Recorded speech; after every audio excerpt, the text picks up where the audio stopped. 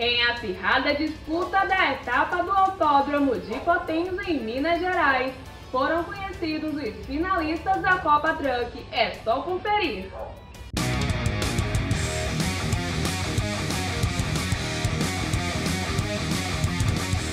A Copa Truck definiu os finalistas da temporada 2021 com uma apresentação histórica no novo Autódromo Potenza, em Lima Duarte, interior de Minas Gerais.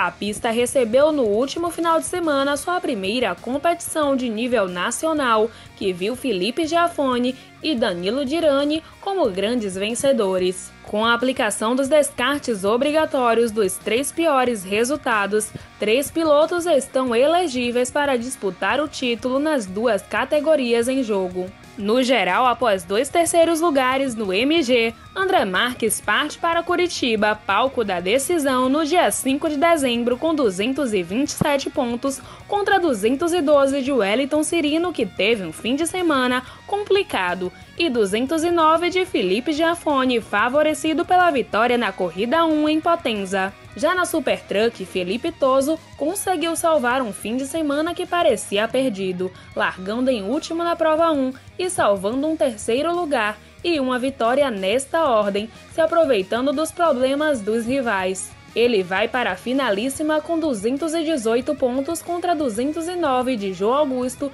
e 202 de Juliano Lozaco. O resto dos pilotos de ambas as categorias não possuem chances matemáticas de brigar pelo campeonato, uma vez que serão 40 pontos em jogo na decisão. As corridas que marcaram a estreia de Potenza no calendário foram extremamente atribuladas e competitivas. A primeira disputa acabou maculada por um forte acidente entre Danilo Alamini e Fabinho Fogaça, que deu muito trabalho para a turma do resgate. Nos minutos que restaram, no entanto, as disputas foram apertadíssimas e Giafone superou Beto Monteiro por dois segundos no geral, enquanto Daniel Kellyman venceu pela primeira vez na Super Truck, seguido por Rodrigo Pimenta. A bateria complementar viu Jaide Sonzini largar da ponta e liderar a maior parte da prova, mas o azar bateu a sua porta e ele queimou o radar, sendo obrigado a cumprir o drive-thru e dar liderança de mão beijada para Dirani. Dirani largou no fundo do pelotão na corrida 1 e venceu com um segundo de vantagem para Paulo Salustiano.